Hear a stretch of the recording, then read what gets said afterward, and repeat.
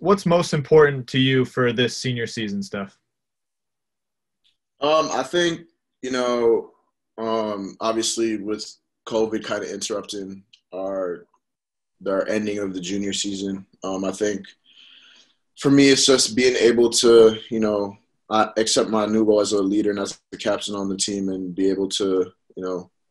make sure that this program continues to, you know, go in the right direction. And I think for this season, you know, there's a lot of uncertainty with COVID, but I think, you know, just keeping guys in the right mindset to to be proactive and just be prepared for anything. Um, but you know, I think obviously getting back to,